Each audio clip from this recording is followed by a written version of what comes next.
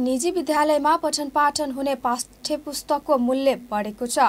निजी विद्यालयले एकै कक्षामा नौवटा किताब किन्न लगाएका छन् भने एउटै पुस्तकको मूल्य छ सय बढी लिने गरेको पाइएको हो।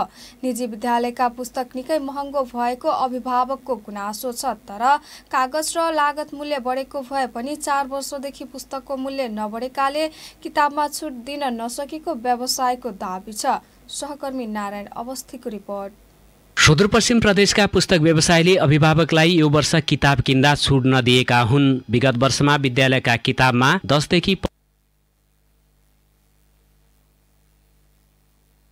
पन्ध्र प्रतिशत छुट दिँदै आएका पुस्तक व्यवसायीले यो वर्ष भने अङ्कित मूल्यमा एक रुपियाँ छुट गर्न नपाउने नियम लगाएका हुन्। नेपाल पुस्तक तथा स्टेसनरी व्यवसायी संघ प्रदेश तथा जिल्ला समितिले अभिभावकलाई छुट दिए पुस्तक पसललाई कारवाही गर्ने निर्णय गरेका छन्। पुस्तक व्यवसायीहरूले दस वर्षदेखि पुस्तकको मूल्य नबढेको तर लागत खर्च बढेको भन्दै छुट दिन नसकिएको बताएका छन्। नेपाल पुस्तक तथा स्टेसनरी व्यवसायी संघ कैलालीका अध्यक्ष भीम पडाल। कमिसनदेखि लिएर सबै कुरा घटेर आएका कारणले गर्दाखेरि कार्यालयले डिस्काउन्ट नपाएको हो। नआउने किताबमा ढाई पर्सेन्ट भाडा लिन्छ ट्रान्सपोर्ट कस्ट लिन्छ अनि सात पर्सेन्ट आठ पर्सेन्ट पनि राख्यो भने व्यापारी त घुमिएर होइन उनको त पागल भएर मर्नुपर्ने स्थिति आइसक्यो। नेपाल पुस्तक तथा स्टेसनरी व्यवसायी संघ सुदूरपश्चिम प्रदेश र कैलाली जिल्ला समितिले अभिभावकलाई छुट नदिए पनि काठमाडौँमा भने व्यवसायीले निजी विद्यालयका पुस्तकमा बिस प्रतिशतसम्म छुट दिने गरेको बताएका छन्। पुस्तक लगाए बापत विद्यालयहरूलाई मोटो रकम आर्थिक सहयोग गर्ने पब्लिकेसन र पुस्तक डिलरहरूले अभिभावक ग्राहकहरूका लागि भने एक रुपियाँ छुट नदिने नीति लिएका हुन्। किताबमा छुट नदिनुका कारण बताउँदै नेपाल पुस्तक तथा स्टेसनरी व्यवसायी संघ सुदूरपश्चिम प्रदेश समितिका अध्यक्ष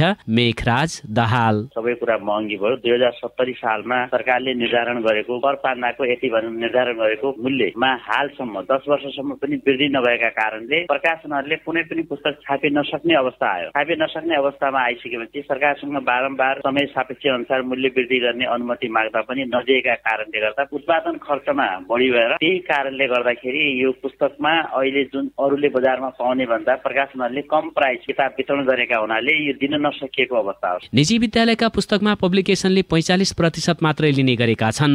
बाँकी पचपन्न प्रतिशत डिलर पुस्तक विक्रेता र विद्यालयले मिलेर खाने गरेका छन्। विगतमा पन्ध्र प्रतिशत छुट दिने गरे पनि यो वर्ष भने पुस्तक व्यवसायी समितिले छुट दिएमा कारवाही गर्ने भनेकाले कुनै पनि पुस्तक पसलले एक रुपियाँ पनि छुट दिएका छैनन्। काठमाडौँमा बिसदेखि पच्चिस प्रतिशत छुट मिल्ने तर धनगढीमा एक रुपियाँ पनि छुट दिँदा पुस्तक व्यवसायलाई घाटा हुने तर्क व्यवसायले गरेका छन्। फेरि एकपटक नेपाल पुस्तक तथा स्टेसनरी व्यवसाय संघ प्रदेश अध्यक्ष दाहाल। समस्या कस्तो भयो भने उत्पादन खर्चमा लागत बढी। ब्याज दर सबै सबैले गर्दाखेरि उत्पादन पेपर मेटेरियल सबै कुरामा मूल्य वृद्धि तर किताबको प्राइसमा कुनै पनि वृद्धि नभएका कारणले प्रकाशनहरूले त्यही मूल्यमा थापि नसक्ने अवस्था आएर व्यवसायले पाउने डिस्काउन्ट चाहिँ मा कमी आएका कारणले यो अरू विद्यालयमा हुने खर्च अरू ठाउँ हुने खर्च संस्थामा हुने खर्चहरू लगायत पनि दिन नसकेकै अवस्था हो सर। अहिले त उत्पादन गर्न सक्ने अवस्थै छैन फेरि। अहिले विकराल अवस्था आउन सक्ने अवस्था छ अहिले महँगीले गर्दा। धनगढीका ठुला डिलर र पुस्तक व्यवसायी सङ्घको सिन्डिकेटका कारण अभिभावकले महँगा किताब